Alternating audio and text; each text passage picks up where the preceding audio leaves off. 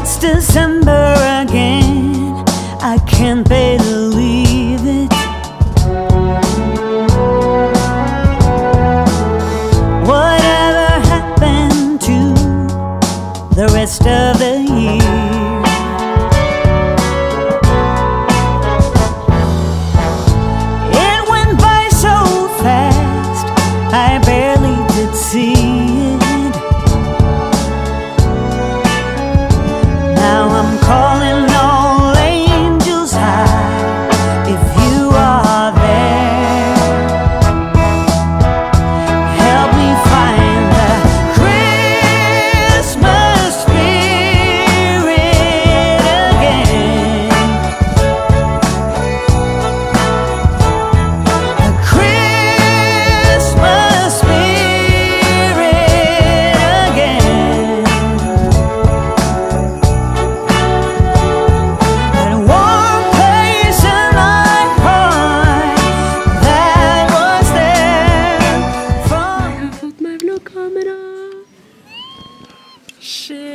savna det. Nå er jeg i Hønefoss sammen med Camilla. Yay! Og det føles så godt. Det er akkurat det samme kameraet som det jeg hadde. Og det var én person i hele Norge som solgte det her på Finn. Tror du faen ikke han var på Høn i Hønefoss her jeg skulle være i natt, så yeah. Jeg har en venninne som elsker uh, leopardmønster. Det er med sånn headset da. Er det headset? Så fette nice. Det er 200 kroner nå.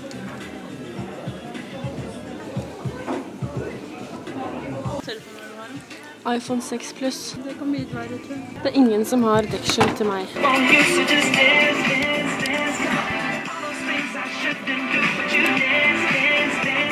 Hei, babes, Nå har vi akkurat vært og kjøpt Eller jeg har vært og kjøpt julegaver for sånn 600 kroner, så jeg håper folk blir fornøyd. Så nå skal vi innom Knivi, og vi skal lage hjemmelagd pizza. Yay! Det blir digg. Hopp, hopp. Går jeg på tomatpurejakt, og det gjør jeg. Vi rister. Vi tomatpuré. Ingen steder. Å, jeg fant dem! En eller to. Det er to. Så skal jeg ananas, fordi ananas er det beste jeg vet på pizza. Jeg spiser ikke pizza uten ananas. Men det står jo ved desserten, tror jeg. Det er så chill med vloggkameraet igjen. Fy faen. Men alt her er så stort. Hva er det her, liksom? Hei, babes. Nå har vi Vi har vært hos Camilla i en times tid eller noe. Klokka er ti over åtte. Og nå skal vi lage litt pizza. Yay! Og og Camilla vi kjøpte oss like onepiecer.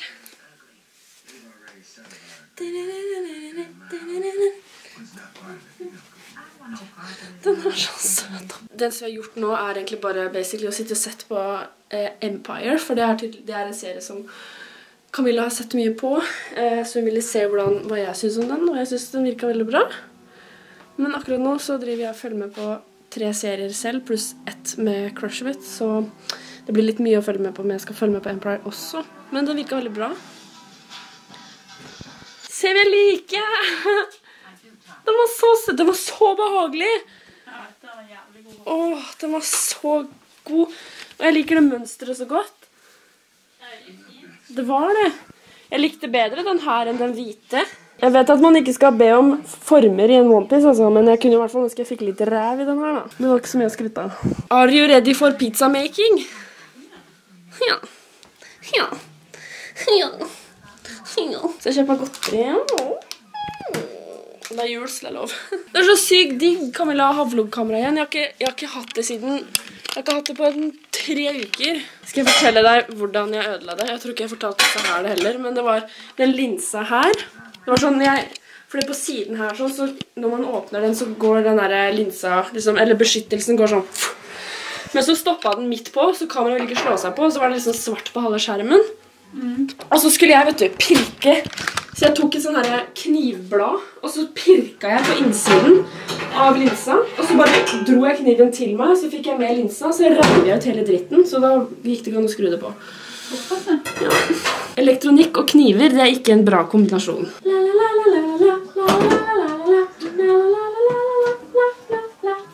Pizzadeig.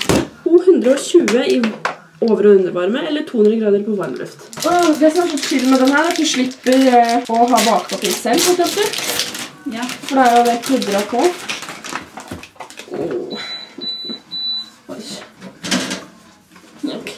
Hvordan gjør man dette? Men den sitter jo ikke fast. Nei, du bare løsner deigen også. Mens du Hm? Du løsner deigen også mens du drar ut det papiret. Men skal, ikke liksom, skal den ikke ligge på papiret?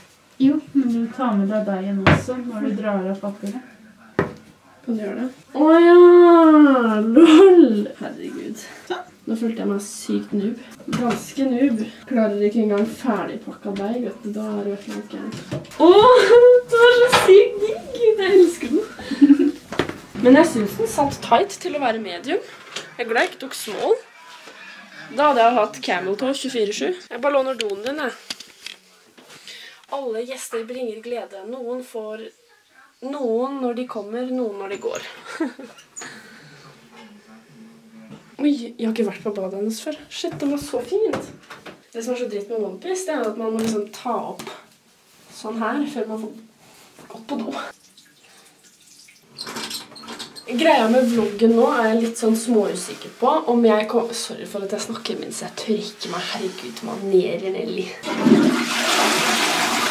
Men greia er at jeg kommer i hvert fall til å filme i dag, altså 22., og jeg skal filme i morgen, 23., og så skal jeg filme julaften.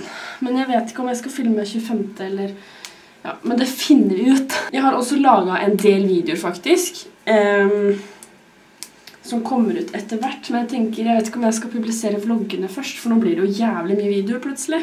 Jeg gikk fra én video i uka i sånn tre uker til fem på en uke. Nei da, ikke så jævla ofte, men ja. You get the drill. Og så vil jeg bare spørre dere om hva syns dere om starten på den vloggen her? Altså med musikken og det der, fordi jeg var veldig usikker. For jeg vet at det er veldig mange som bare uh, Cut the crap. Begynn å banne. Ikke driv og ta sånne der voiceovers og dritt og. Fordi den uh, vloggen som jeg lagde av meg og Jonas, fikk litt sånn derre uh, Ja. Eh, kan du bare være så snill og ikke gjøre det? For det var veldig cringe. Slutt med voiceover. Bruk heller å banne. Jeg bare Ok. Er det liksom det stempelet jeg har, at jeg ikke kan på en måte lage sånne type vlogger, da, så gjerne si ifra.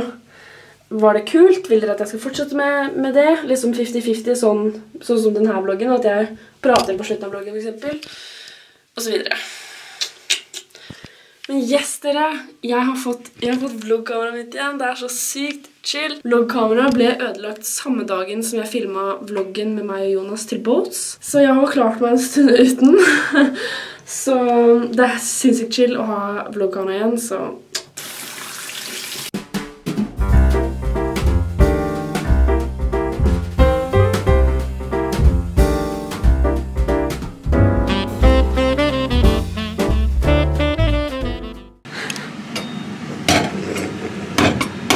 Hvor skal du ha ananas på pizzaen?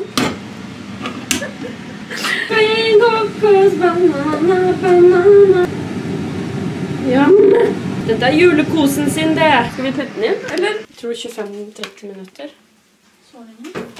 Så lenge. 12 til 15. Vi kan jo se litt an hvordan den blir, da. Mm.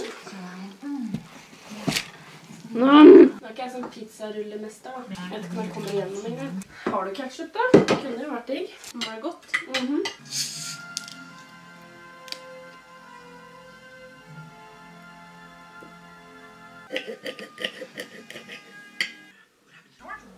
In a powder. Nå har vi akkurat sett Hva heter første filmen?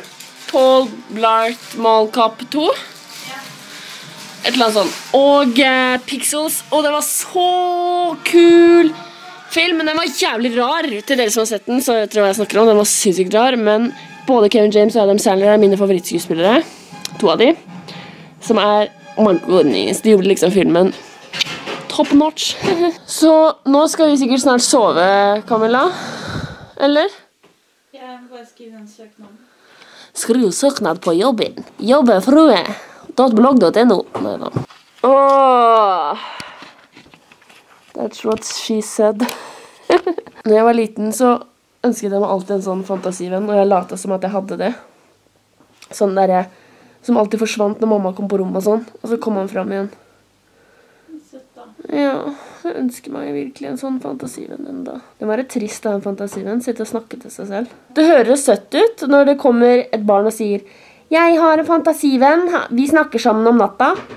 Og så tenker du etter sånn Oi, det er kanskje ikke så søtt. Kanskje, kanskje babyen har Ja, eller at han har et syndrom som gjør at han snakker med null personer. Og jeg skal dra så tidlig i morgen. Ja, jeg skal på hytta, og så skal vi ha julelunsj. Mm. Ja, jeg gleder meg til det. Faen, jeg er ikke trøtt, jeg. Hvor skal jeg sove hen? Vi har delt seng før, vi. Det har vi.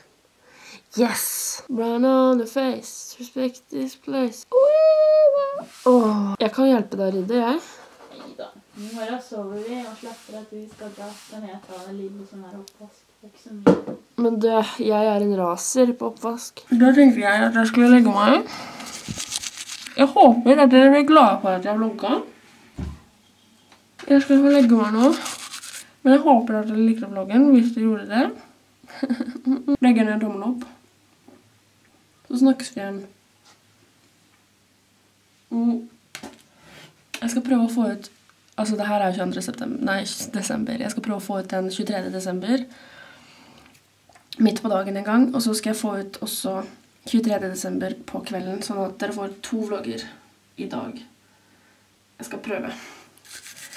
Og så, ja. Jeg håper dere likte videoen. Hvis du gjorde det, den en tommel opp, og så snakkes vi igjen forhåpentligvis igjen i kveld. For dere. Yeah. Natta.